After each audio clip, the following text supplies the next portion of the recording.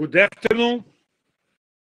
So it's a pleasure to have again a new talk in this series of IEEE Circuits System Society talks together with um, um, graduate program microelectronics of the Federal University of Rio Grande do Sul and the Institute of Informatics and also engineering school. So um, this is becoming since uh, several weeks a traditional meeting point each week. So each week with uh, always some uh, very nice talks as you are going to have today. So um, uh, uh, Leandro uh, has done his undergrad in city of Uruguaiana, no? Then he has done in Santa Maria, and then no, no, I'm doing a mistake, no.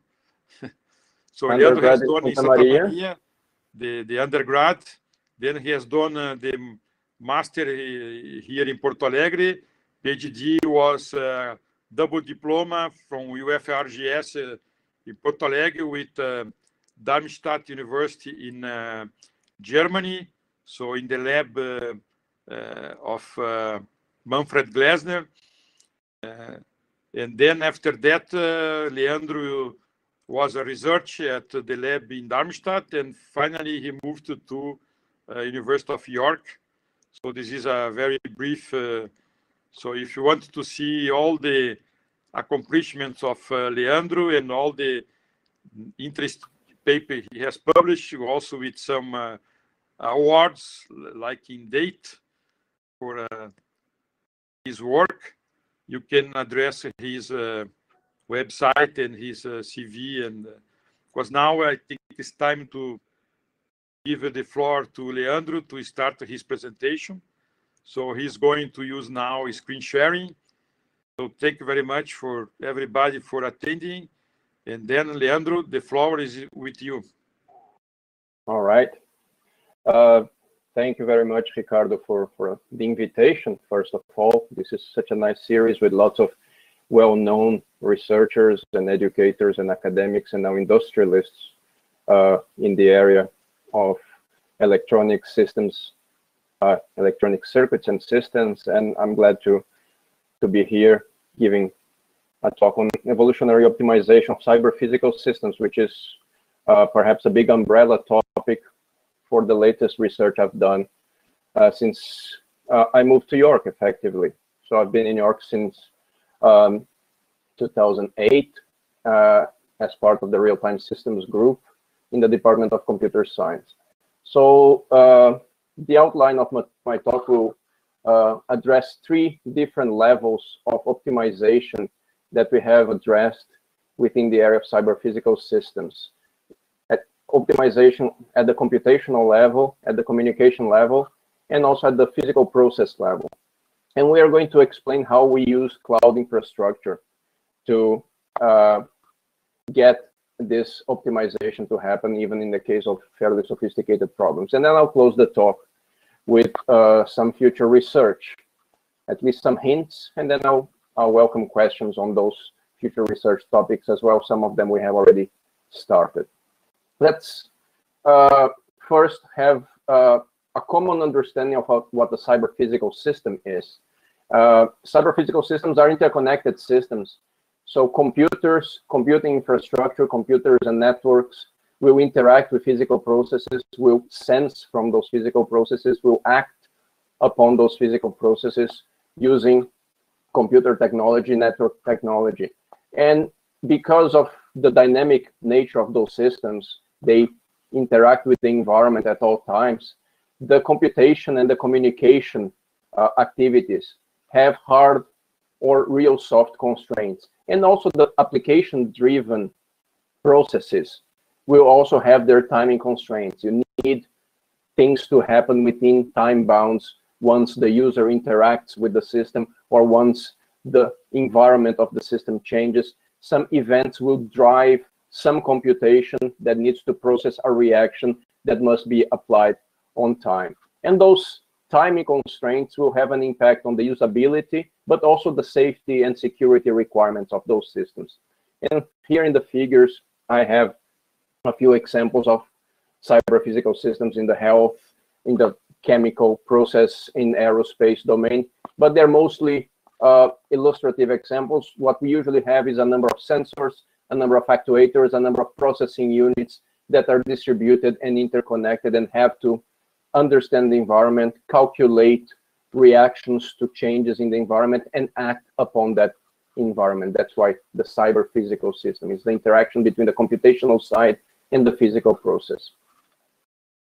Our research tries to optimize cyber physical systems so that they can meet those timing constraints. And we do that, as I've mentioned, at the computation level, communication level, and the physical process level. At the computation level, we want to make sure that all those computational tasks that try to calculate reactions to changes in the environment, calculate reactions to keep the system operating as desired. Those tasks, usually software tasks that will run on top of multiprocessors, multiprocessor systems, uh, high performance computing systems, even cloud computing, all those tasks need to be executed within time bound. So we need to manage, we need to optimize the way these tasks are executing and uh, reading and writing from different interfaces such as sensors, actuators, so that those computation tasks happen within uh, the real-time constraints.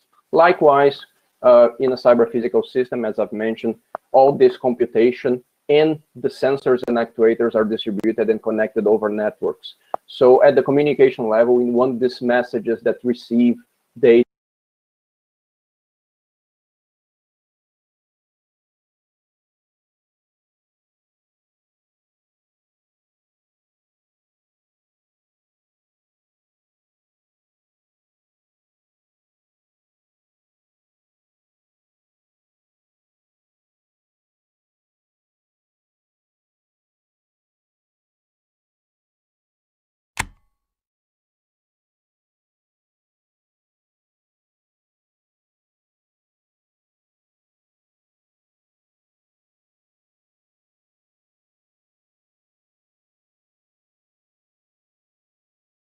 sorry, there was a problem with the connection with uh, Leandro. So just waiting a little bit for he reconnect again. Uh, I think the internet connection is not ideal. I hope you can hear me now. We are listening to you now again. All right. Uh, now I give to you the the rights to to okay. read on. Okay, let me share my slides again.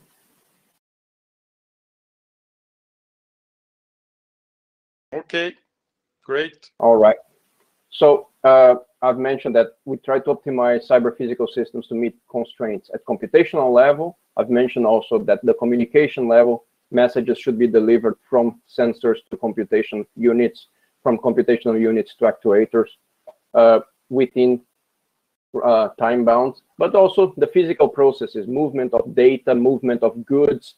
So opening a particular uh, barrier in a parking system or moving a particular machine or processing a particular part within a machine, all those activities have timing constraints. So some of the optimization has to be done to make sure that the process uh, deadlines are also met. And these are the three areas that I hope I can give some examples during this talk. So let's move on.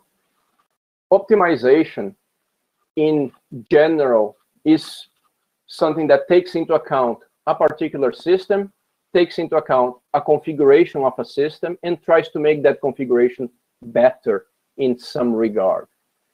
So uh, there are many different ways to do optimizations and people that have seen previous talks in this series, you have already seen some uh, examples of optimization. I remember one of the interesting talks that I've seen. Uh, people try to optimize the communication within a particular layout cell for, for uh, standard cell libraries. That's one way to optimize a system to try to minimize the number of uh, metal layers that you need to connect the inputs and the outputs of a cell. Uh, in our case here, we are dealing with many different kinds of systems, but the idea of optimizing configurations is actually the same. There are many ways to do optimization. And in our case, we will always uh, use one specific kind of algorithm, which are evolutionary algorithms to help us with the optimization. And the, the fitness function for this optimization, the way that the optimization checks how good the new configurations are, in our case here, are always based on real-time analytical models. I'm going to give you some hints about those two parts of our optimization engines. And I'll start with evolutionary algorithms, and we apply this to all classes of optimization. I've mentioned computation level, communication level, process level. We use evolutionary algorithms for all of them. And then for each kind of system, we need to derive different uh, real-time analytical models that are specific for the system. So let's start first understanding the evolutionary algorithms. People from computer science have already some background, so maybe I'll repeat things that you already know. So I'll go very fast. Uh, in an evolutionary algorithm, the evolutionary optimization will have a population of possible configurations for my system, and it will try to improve this population of configurations by evaluating the fitness of each one of them. So each configuration needs to be evaluated somehow, and those are the fitness functions that I'll discuss later. Once we know the fitness of each one of the different elements in this population of configurations, we take the best ones and then we mix them up, we breed them, we use crossover operators to get new individuals which are based out of mixtures of uh, the best individuals that we have in the population. And then we create some additional mutations so that we replace the old population with just with this new population that includes the best and some crossovers and mutations of the best. And we keep rotating over that series of activities until some termination condition will be true. Either we rotated, we did so many generations every time we go around this algorithm, we call that this is a generation, and a termination condition could be a fixed number of generations. But I can also have uh, other termination conditions, such as I found an individual with a fitness of 13, 14, or I have paid so much for the computers running this evolutionary optimization. I think I have to be satisfied with the, the fitness that I found. So there are many ways to stop the process, but the idea is that the process will keep evolving configurations so that we will have at the end a system configuration which is better than the ones that I had at the beginning. Which are the ones that I had at the beginning? Maybe the current configuration of the system, the one that I'm trying to improve, or maybe just some random configurations. If I have no idea where to start, I can even start with just some random configurations. And then as I evolve those configurations, better and better configurations will start, start to appear. These configurations, in the case of an evolutionary algorithm, they are modeled as a chromosome. So let's take a look how a potential chromosome could look like. Uh, in this case, the chromosome is representing one kind of configuration that we use a lot in cyber physical systems, which is allocation of tasks to processing elements. This could be software tasks over a particular CPU, or, or this could be a, a metal cutting task over a machine, or this could be a packet over a network link. So this kind of allocation of resources is commonly used in cyber physical systems. And we uh, model them as a chromosome like that. We have one gene of that chromosome for each task, and then the content of that gene tells where that particular task will be allocated. In this case, we have tasks one, two, three, all the way to task n, and then we see there the index of the processing element that will will have that task allocated to it. And I can create random configurations, so I can have hundreds of different chromosomes like that randomly created. I can easily uh, have crossover so that I have the first half of one chromosome and the second half of another chromosome to produce a new configuration, to produce a new allocation of tasks that has tasks one to n over two from the parent, one of the parents, and from n over two to n from the other parent. Or I can have mutations that will randomly change the content of some chromosomes. So you can see in this particular example, all the steps that we have seen before, that I can have a random population at the start. I can then get the best configurations uh, mix them, mutate them, and keep evolving towards uh, an, an, optimized solution. So uh, the fitness function is the one that puts pressure on this evolution to keep the best chromosomes in the evolved population. And this, as I've mentioned, the fitness function will always be different depending on the kind of problem that we're trying to optimize. So let's go back to my big picture and let's look one at a time, those three levels that I've mentioned before, computation, communication, and process. We start with computation. And for computation level optimization, what we try to do, it's exactly this sort of example that I've just mentioned. I have a number of software tasks that will have to be allocated to some sort of many core multiprocessor platform. And the configurations that I want to optimize can be the task to core allocation, the clock frequency of those cores, the priorities of those tasks. There are many different configurations that we might want to optimize.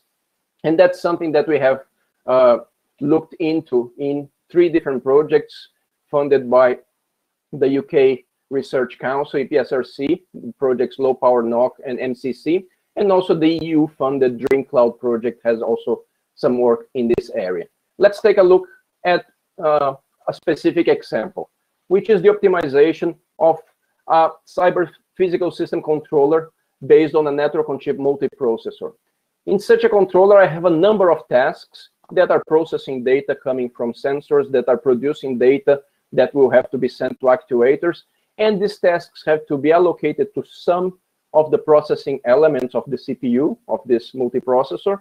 And these tasks, they because this is running in a large system, we cannot really have a shared memory for all of them to communicate. So the communication happens uh, as point-to-point -point communications within a network on chip. So tasks running one processor element have to send data to tasks running in a different processor element so that this data can be read by the destination task. And this transfer happens over uh, a network on chip. We have a few papers in this area if you want to learn uh, more details about networks on chip. And what we want in the evolutionary process here is if I have a chromosome or a population of chromosomes with random allocations for tasks T1, T2, T3, all the way to Tn, I want over the generations, I want all those all those tasks and the network packets that they generate to communicate with each other. I want all of that to meet the timing constraints so that all of them become schedulable, meaning they will have, they will meet their hard real-time constraints, all of them. And in this plot that I show on the right-hand side of the figure, you can see on the y-axis the number of tasks and packets that are unscheduled, mean, meaning they cannot really meet their deadlines. And as the number of generations goes on, as we evolve, as we go around the evolutionary algorithm, our goal is to move all the way to the point where we have zero unschedulable tasks and communication packets in that point, I know that I found an optimization, an optimized uh, configuration that meets my timing constraints. And that's what we are looking for. Uh, the analytical model that we use for this kind of uh, system is an end-to-end -end response time analysis. What it does, it assumes some characteristics about the tasks that run on the processing cores and the packets that they will exchange. And they use equations such as uh, the one that I'm going to show to calculate what is the worst response time for each task as they are running on each one of the processing cores. And this response time includes the time that the task needs to calculate something, to compute something, but also the time that it's blocked because some other tasks are using that CPU. You might have multiple tasks allocated to the same CPU, and in that case, other tasks will occasionally use the CPU, preventing the task that we are analyzing from running. So in this case, we have equations that will tell us what is the longest time the task will take to finish its computation, including the times that it's blocked waiting for orders. And then when it starts communicating the results to memory interfaces, sensor interfaces, or to other tasks that need to work on those results, there will be also the same kind of response time, but over the communication network on chip. So we'll have some time where the packets are moving, sometimes when the packets are blocked, waiting for other packets to use the network, and so on and so forth. And we have done a lot of work in York to have models that can tell me for a given configuration of the system, for a given chromosome, so to say, for a given allocation of tasks to cores and allocation of packets to different network links, what is the worst case response time for the communication, for the computation, and then what is the worst case for the communication so that I can add both of them and check that if the task will meet their deadline even in the worst case. So the the sum of the worst case response time for computation and the worst case response time for communication should be less than the deadline of that task. If that's the case, that task is deemed schedulable. And therefore, I will use those equations for each one of the chromosomes that I am trying to evolve and will count how many tasks I have in my configuration for each one of the genes, for each one of those allocations. I will try to check how many of them fit, meet their deadlines according to those equations. And that's what we do in many of our experiments to optimize allocation of tasks to cores.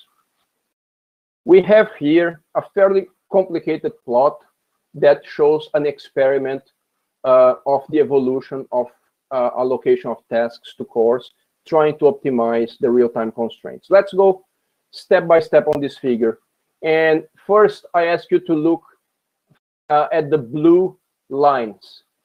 And these blue lines, we have one of them that shows over the evolutional evolutionary process, which is shown in the x-axis. So the x-axis increases with the number of generations.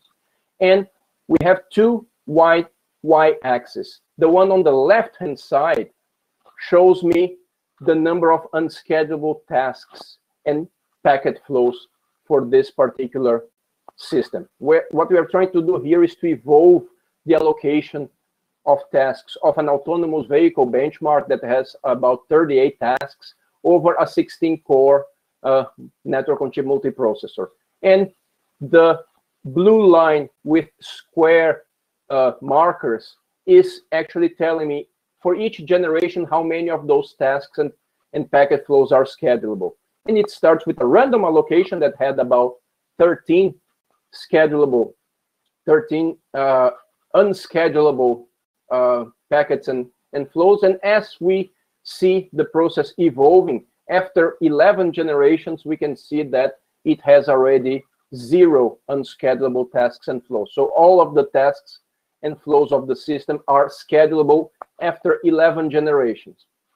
And in the other blue line, we are measuring the dissipated power of that network on chip multiprocessor.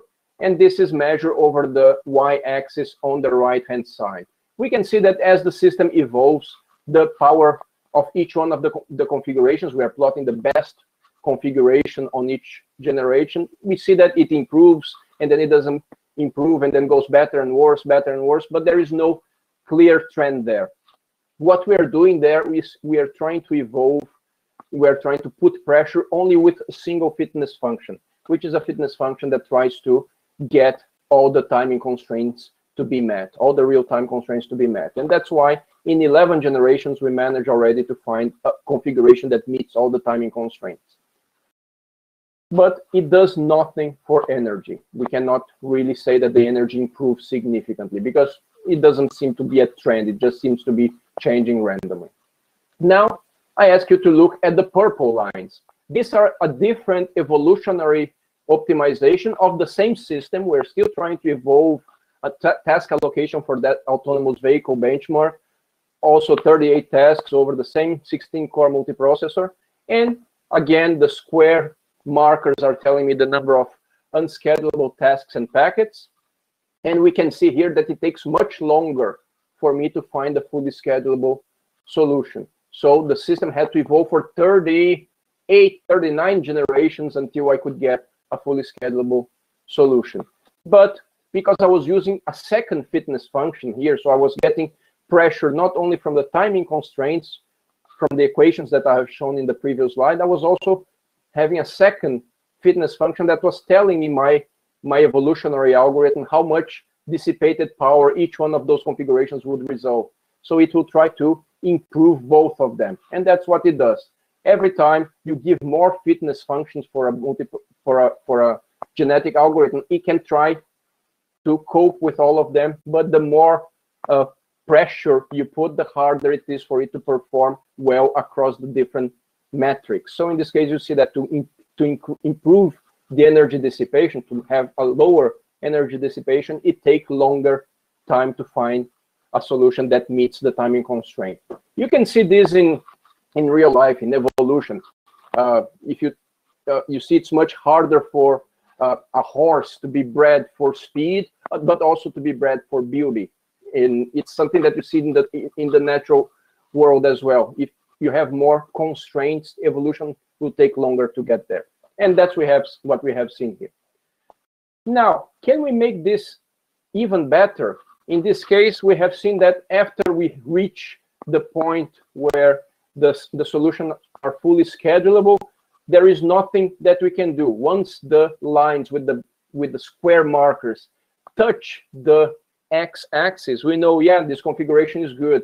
But we know that we can have many configurations in the population. All of them have that same property. Can I tell which one is better over all of them that are fully schedulable?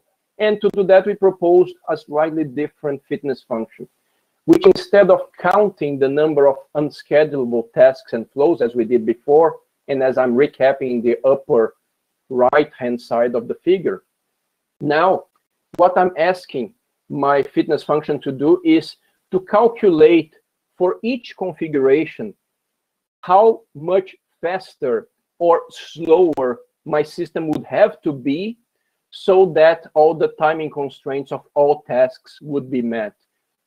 So what I'm saying here is for this configuration, before I was just using the equations to tell me this configuration running at nominal frequency of the system, how many tasks are unschedulable. That's what I was doing before.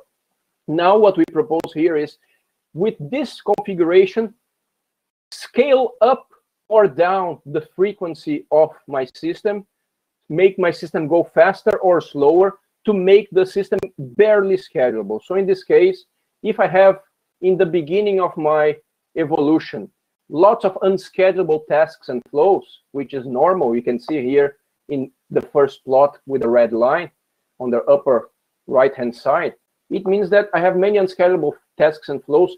To get this system to fully be fully schedulable with those configurations, I'll have to speed it up. So you can see in the green line in the lower right hand side that the speed up factor in the beginning of the evolution has to be very high because the quality of my configuration is not very good. So the fitness of each configuration is actually by how much I should speed up the system so that that system would become schedulable with that configuration. And as I evolve, the solutions we have that require a lower speed up can be seen as better. If it, this configuration requires me to run only with double the speed, this is better than the one that I need three times the speed.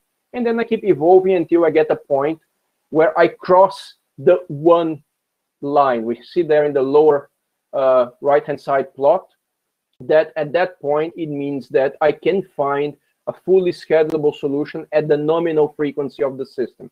So that point when the green li line crosses the dashed line at uh, breakdown speed factor of one, that's equivalent to the point that the red line, the unschedulable tasks and flows, flows line, touches the x-axis, meaning at that point, I found a solution that meets my timing constraints at the nominal frequency. The advantage of this approach is that I can carry on.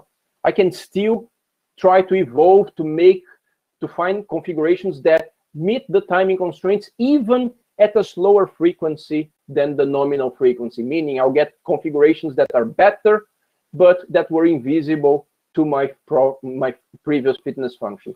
And that's something that we show in the big plot. We can see for different benchmarks, not only the autonomous vehicle that I've mentioned before, but uh, other synthetic benchmarks, we can see that we can find solutions that are even better than uh, what we can get at the nominal frequency. So this is an improvement of the fitness function I've mentioned before. At this point, I can say that we have done a significant amount of work into optimizing allocation of tasks into cores, improving energy, supporting multi-mode operation, assigning priorities to tasks, making sure tasks have security constraints met, making sure that the memory footprint of those tasks over multiple CPUs is minimized. So we have successfully uh, adapted this flow to a large number of uh, optimization problems at the computation level. And they all required us to do some contributions towards the fitness functions. So how can I calculate what would be the worst case with that set of tasks at that allocation configuration with those uh, priority levels, with that memory uh, availability and so on. So we have contributed both in the creation of fitness functions and then using these fitness functions for success, successful evolution of optimization in many areas. And you have here links to many conferences and journals where have, we have published that work. And I'm happy to ask to, to answer questions about this later on. But at this time, I would like then to move into the next step, the next level. We talked about computational level. Let's talk about communication level now. And in this case, the optimization engine is again trying to improve the configuration of a system to try to meet timing constraints. And in this case, the configurations that we have in typical cyber physical system networks are routing tables, guaranteed uh, time slot allocations, uh, routes, uh, allocation, arbitration of network, buffer sizes. These kind of configurations are typical configurations that we need to uh, set up so that we can find guarantees for a given network in the sense that all the packet flows uh, will be able to meet their deadlines even in the worst case scenario. And the work I'm reporting here is a work that we have done within the MCCPS uh, project funded by the, the UK uh, Research Council for, for Engineering Physical Sciences with uh, colleagues of the Real-Time Systems Group. Uh, and the example that I'm, I'm going to highlight is uh, on wireless networks based on the IEEE 802.15.4 standard. And what we want here is to take a network infrastructure that uses this protocol. We want to take a load of communication packets that are sent from different nodes and have to be delivered to different nodes by their deadlines and these packets will have different urgency levels, but these packets could also have also different criticality levels, meaning some packets are more important than others, even though sometimes they're not they're not as urgent. They are really important and they have to be delivered by the deadlines, even though their deadlines might be longer. So urgency and criticality is differentiated in this work. And because this is a wireless network, we know that the wireless channel is imperfect. It's uh, vulnerable to a whole lot of uh, effects in terms of interference, in terms of noise. So we have a fault model, which is uh, part of the approach, and we specify which kind of faults we are expecting to see in the wireless channel, and we actually allow uh, multiple configurations for this fault model, and we allow the system to react to the uh, faults that it's experiencing in different ways. So we uh, proposed here in New York an extension to this IEEE standard. We call this AirTight. And what it tries to do is under normal channel conditions, meaning for a given configuration of the fault model. So if the faults are within the bounds that I expect them to be, then my system should meet the deadlines for all levels of criticality of traffic. And if the channel conditions are worse than what I originally expected if the channel conditions are not within the bounds that we assumed at design time. We still want the higher, higher criticality traffic to meet their deadlines, even in the worst case. And we want low criticality traffic then to be delivered in a best effort way, creating a sort of a graceful degradation. So this is what we want to have. We want to make sure that if everything is fine, we can find uh, a configuration for the system that all traffic will meet their deadline at all times. If the system is under a situation that is exceptional, if the channel conditions are exceptional and we cannot really meet the constraints for all traffic, we want only the critical traffic to be delivered by the deadline. So the system needs to adapt to provide this graceful degradation. And that's what we are using our evolutionary algorithms for. In this case, we are using the evolutionary algorithm to optimize the guaranteed uh, time slot tables that allocate transmission slots to each one of the network nodes.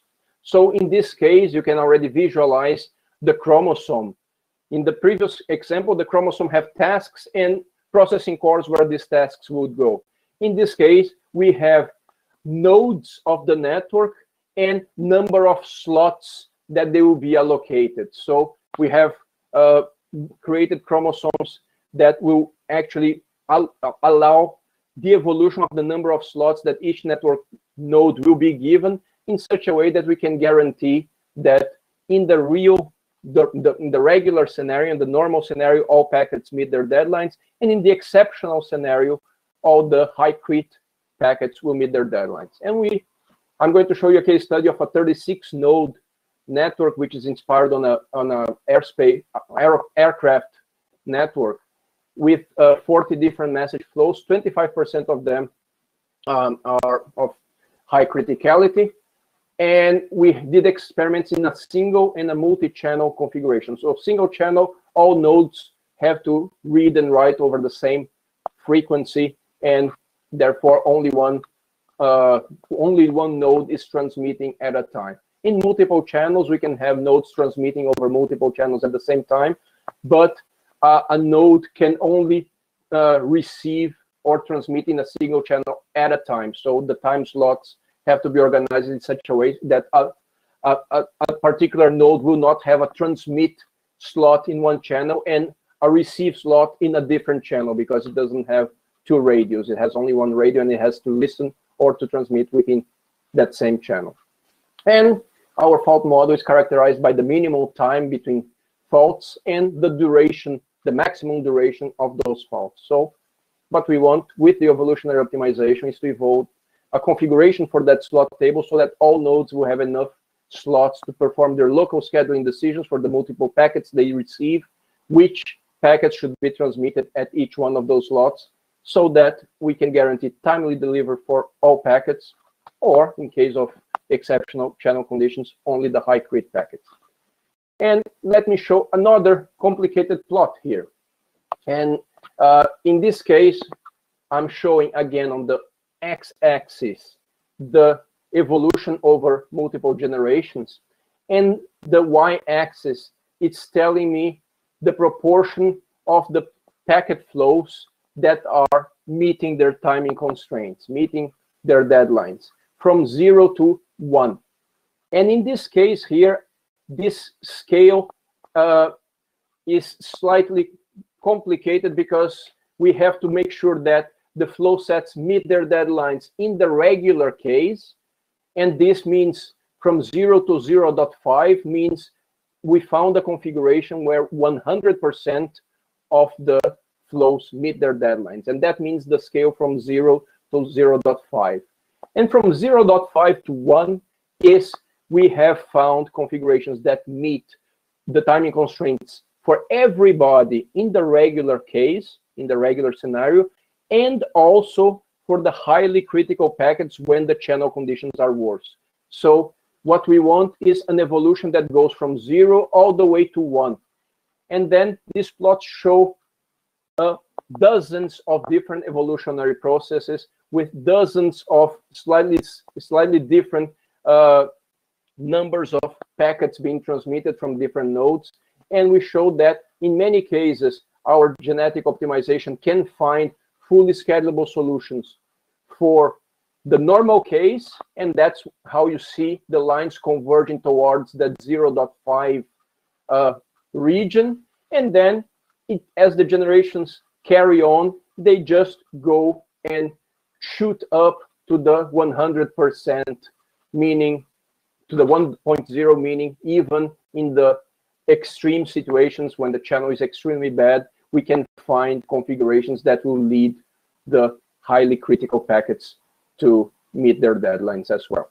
And we have this uh, experiment for the single channel, which is a single frequency where all the nodes uh, have to transmit. And you can see that this is much more difficult than the multi-channel where we have the ability to get nodes transmitting over different channels at the same time. So you see that there are only a few cases where the evolution took more than a few dozens of generations for the multi-channel time, uh, for the multi-channel case. And in this case, it's a three-channel uh, scenario.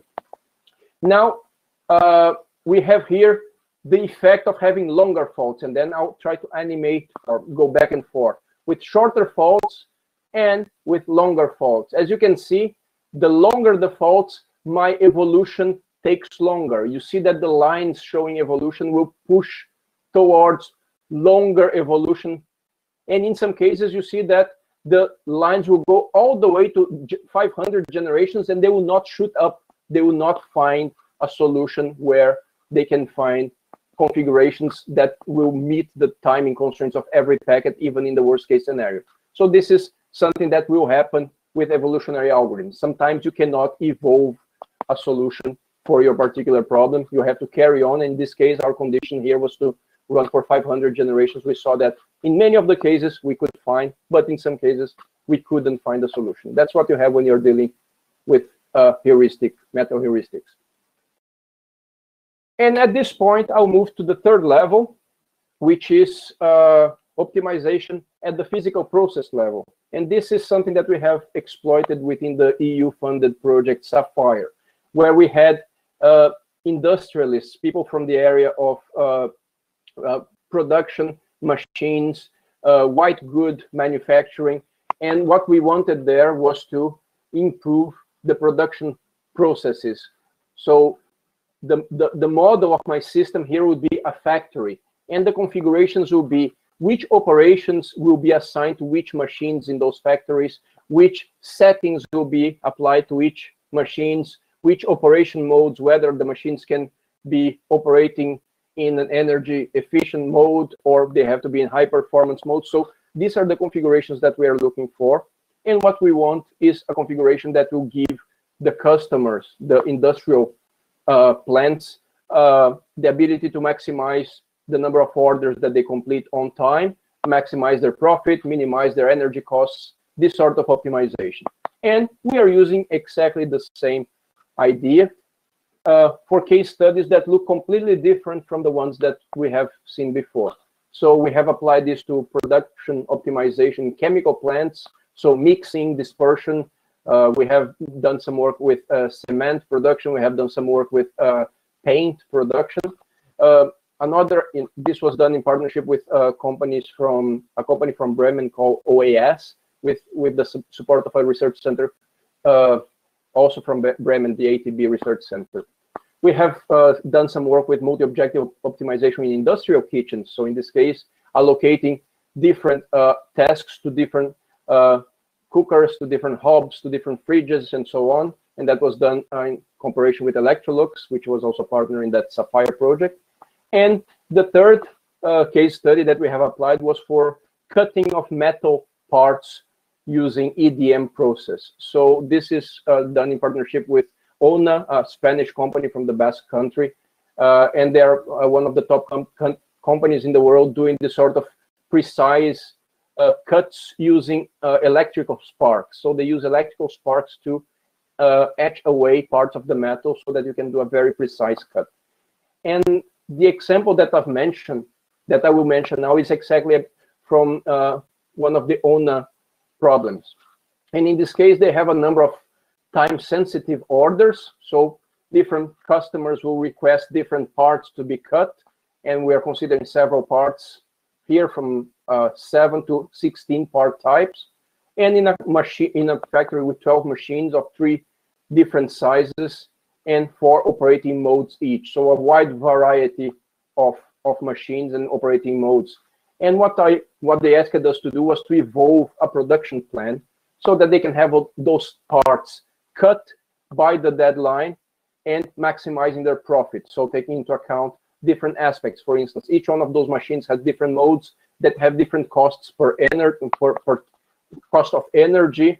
Also, the electrical spark that those mach machines produce uh, requires specific wires, and those wires wear out. So different wires have different quality, different price, and will produce uh, the cut faster or slower. So this would the configuration of those machines will have to involve what kind of wire, what kind of setting for energy saving, and you can imagine here the kind of chromosome that you have uh, in the evolution is shown uh, in the figure on top of the plot, where we have a chromosome that is as long as the number of orders that will have to be uh, submitted. And for each order, uh, we have to, to set up which machine will work on that order, which mode of operation, and which priority is that order with regards to the machine. So if you have multiple orders over that machine, in which order they would be produced. And what they wanted us to, to evaluate was, can we make allocations that will maximize their profit and what was the difference between uh, allocations that will try to serve all orders regardless of uh, the quality of those orders versus discriminating which orders were more profitable and only doing those. And we managed to evolve configurations for those two setups that provided a significant improvement in their uh, in their profit and having uh, a much earlier uh, delivery of the goods to their customers. So we, we managed to show that if they need to serve all customers, that's what they can do. But if they can choose, if they pick and choose, they can get better profit by serving a selected set of customers. And that's what we see in the plot with the blue and the red box plots for the make span and with the dashed lines for the profit. Blue uh, means the classic approach, meaning serving everybody, and red means only selected customers, which are the ones that maximize your, your profit. And at this point, I will uh, move to the final part of the talk, which is on the execution of the evolutionary processes over cloud infrastructure. All those processes that I've mentioned, they are based on a lot of computation. The evolution of all those different chromosomes for all those different configurations, they take a lot of time and they take a lot of computation, uh, computation infrastructure.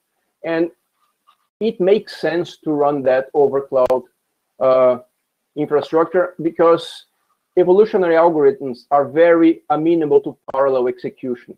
And this is something that benefits from the idea of these elastic resources that we can get by cloud infrastructure. I can get more or less uh, resources dynamically, and I only pay for what I use. And this is particularly useful for all those industrial partners that we were dealing with.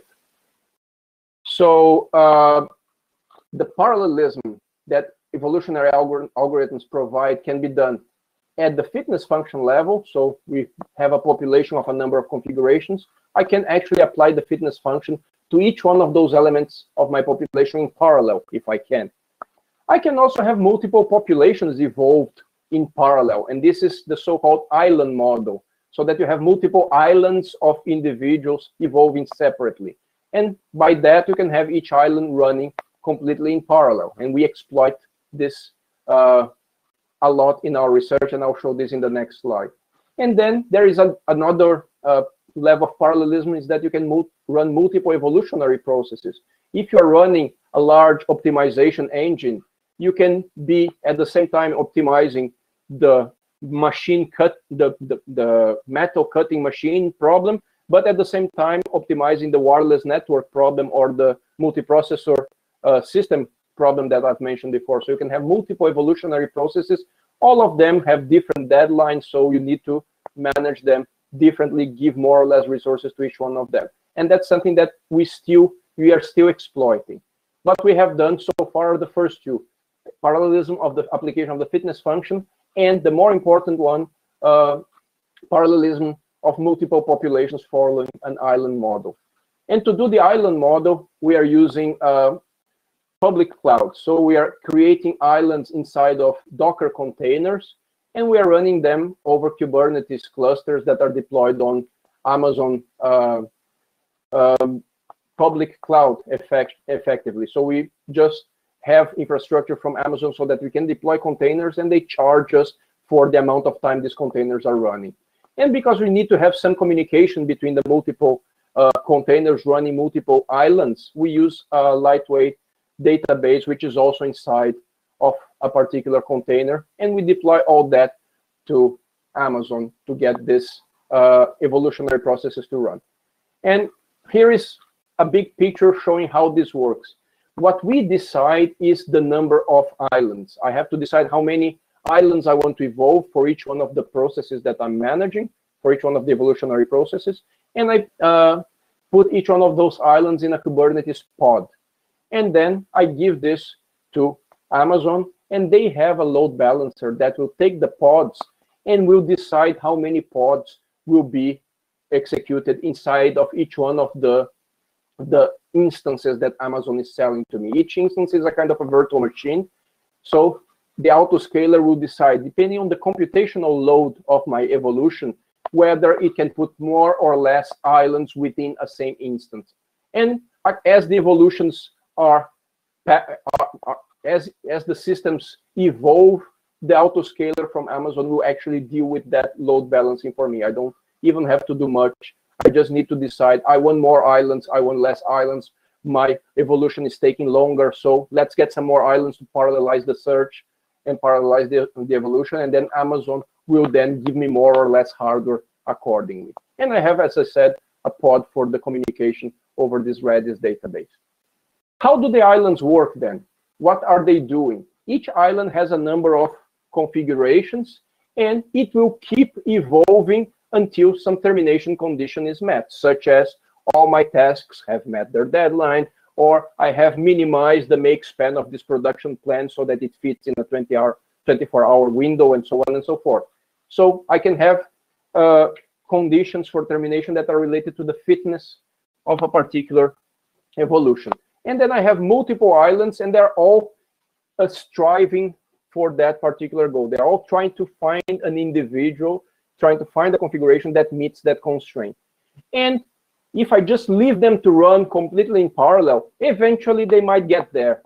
But there are ways to try to improve their performance, improve the performance of the evolution by allowing migrants, meaning configurations to migrate from one island to another, so that once you get a good configuration from one island or a bunch of good configurations from one, one island, you can move them to another island where evolution is not going very well, where the fitness is kind of stuck, you're not getting better individuals over time, you can just seed some other individuals that will be mixed with the ones in that population and hopefully bring some better individuals. And overall, one of the islands at the end will reach the objective that you're looking for faster because of this cross migration over islands. So we have two operations, a push and a pull. A push is when an island has good individuals to migrate out and they go into the Redis database. And then when an island notices that its uh, fitness has stagnated over several generations, it can pull individuals that were pushed previously by other islands. And we have another interesting plot there, and I'll try to explain that plot. That plot is try to compare different migration strategies. The baseline is when I have no migration at all. And you can see there as none. You have a box plot with a quality rank that reaches up to four, perhaps some outliers a little bit more than four. And in this case, quality rank means the, the higher, the faster this particular configuration would find the objectives that I'm looking for, the optimization that I'm looking for. If I don't allow any migration, that's the quality that I can have. And then I have two different strategies to migrate out and then to migrate in. Two different strategies for push uh, and four different strategies. Sorry, the other way around. Two different strategies to decide which I'm which are the the the individuals of a population that I'm replacing, and four different strategies to decide which are the individuals that I'm migrating out. So I can either replace random elements of my population, or I can pick the worst elements and replace them. And those are those two parts of the plot, replace random and replace worst. So when I'm bringing somebody in from other islands, who do I drop, randomly or worse? And uh, we can see that the box plots in the worst are a little bit higher, meaning that it makes sense to re replace the worst uh, uh, individuals of a population. And that's quite intuitive. But now when we compare the different migration uh, strategies to get who am I migrating out, who, which are the individuals that I'm getting out of my islands so that they can be used in other islands, we Im immediately thought that it would be always good to take only the top individuals, get the best individuals and send them out. And we realized that that doesn't work.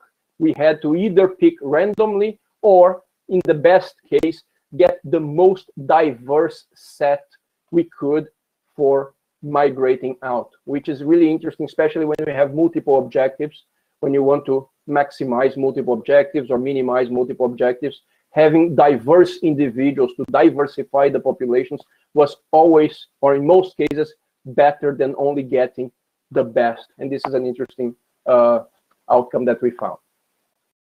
At this stage, I can close uh, my talk and uh, say that we have done a lot of work in evolutionary optimization. It's powerful, but it requires also some research on the application of the fitness function. How can you make fitness functions that are fast, that are accurate enough that can be parallelized in a way that you can scale up and that uh, meet your your optimization objectives. Uh, we try to have this consistent research vision and we apply the same vision over multiple levels of cyber physical systems. And as an academic, many of you, academics, many of you have the same problem. We try to, to have the research vision supported by some funded projects instead of just going after the different uh, calls and different projects that we could have. And that's getting harder and harder these days to believe in a particular research and try to get funding to bring that research forward rather than the, than the other way around. And still we could have something that was uh, uh, applied to industrial problems with industrial relevance. Um, the optimization using evolutionary algorithms fits really well the idea of cloud infrastructure using containers because we can have multiple types of parallelism that we can exploit. And we then can trade off between the time to get a good solution, the cost we have to pay to Amazon to get a good solution, and the quality of the solution that I can achieve. If you pay more, if you take longer time, you're likely to get uh, a better quality, but you can all, cannot always improve those three things at the same time. And I will just have one minute about two of each one of the two research topics that I'm working at the moment. One of them is to use the whole idea of evolution to actually evolve my fitness functions.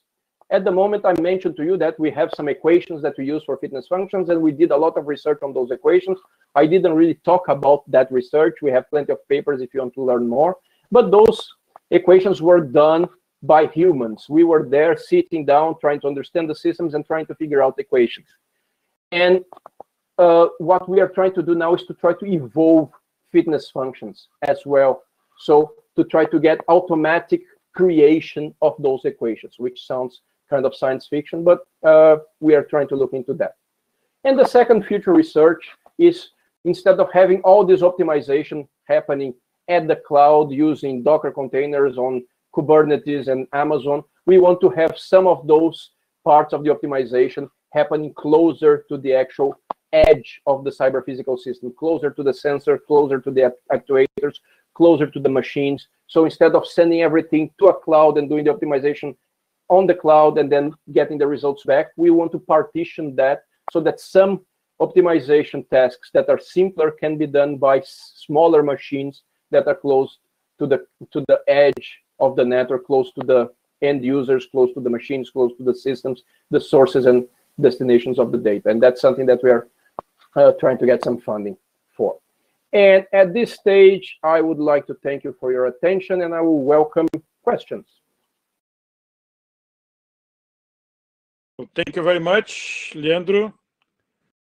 So we are uh, waiting for questions. So you can do questions in Portuguese, English, Spanish, or French. So um, yes.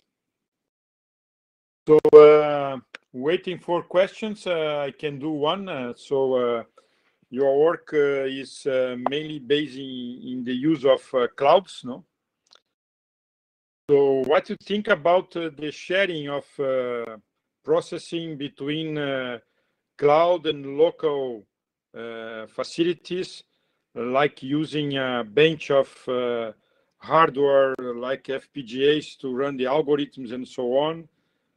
How you you can uh, do the best uh, sharing between using clouds or local uh, running? Well, this is this is one of the research questions that I've mentioned here, and it's a it's an interesting interesting point that nowadays you can even get cloud nodes that have an FPGA that you can delegate some computation and get this to be done on FPGA on a cloud node somewhere in Amazon.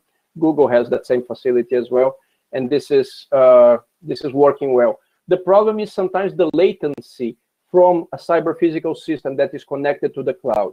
From the particular cyber physical system node to go all the way to the cloud, send data, request for optimization, and get an optimized configuration back, that latency is too long.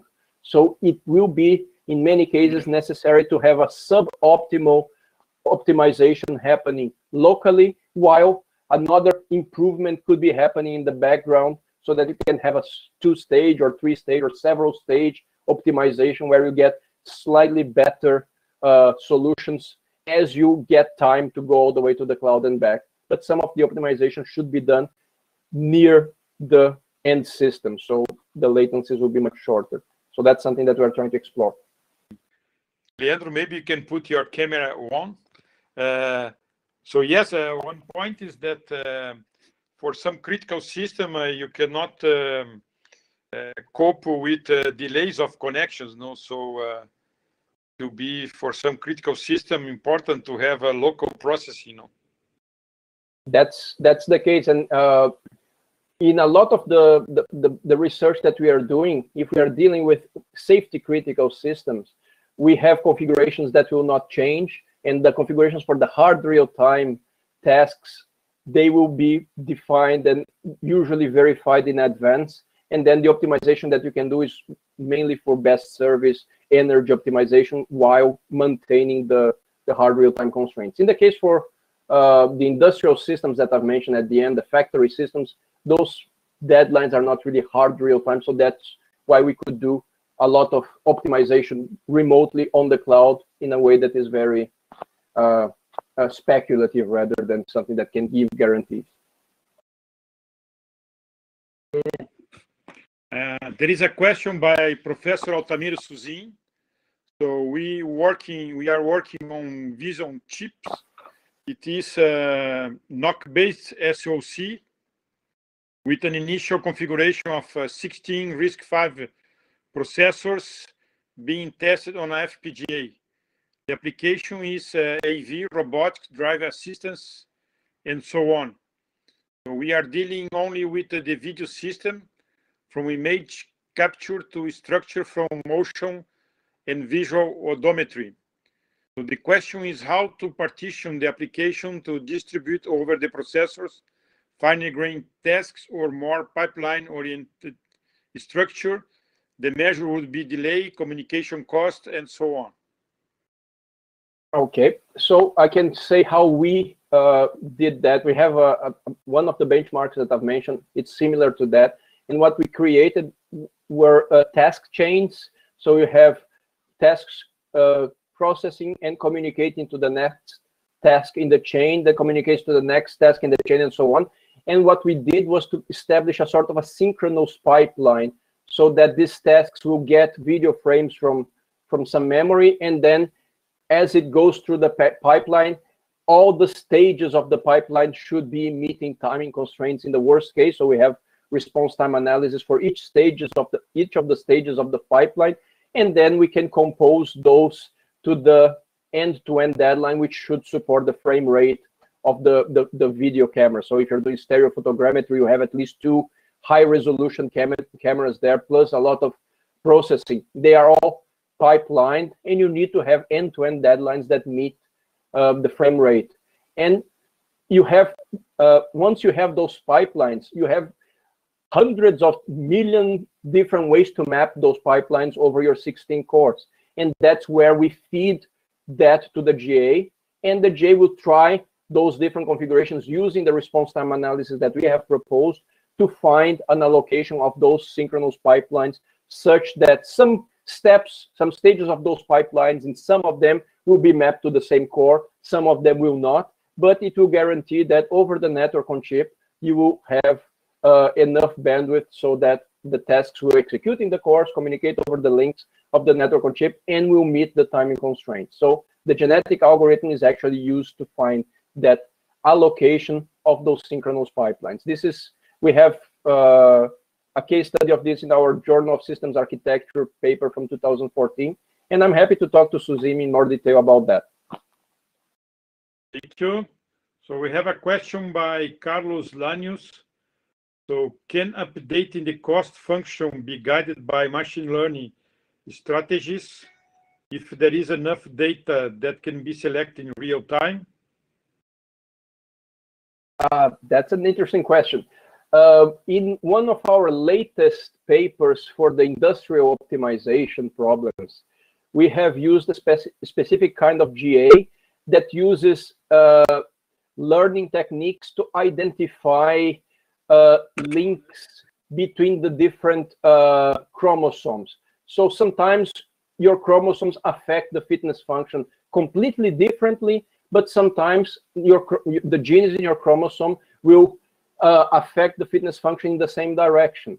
So the learning process actually tries to uh, identify which chromos which parts of the chromosome contribute in the same way to the fitness function so that it guides the mutation and crossover uh, operations so that these genes will be modified together or will always be modified separately according to their to their correlation in terms of affecting the fitness function.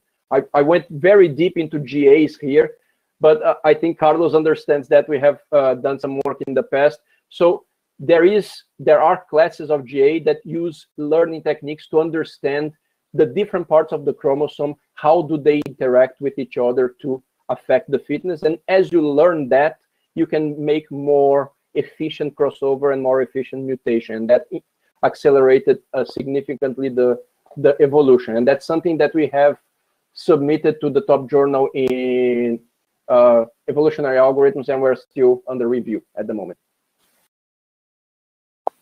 To another question, I think uh, there is no more. So thank you very much, Leandro. It was a great pleasure to have your talk today. My pleasure. Thank you very much for the invitation.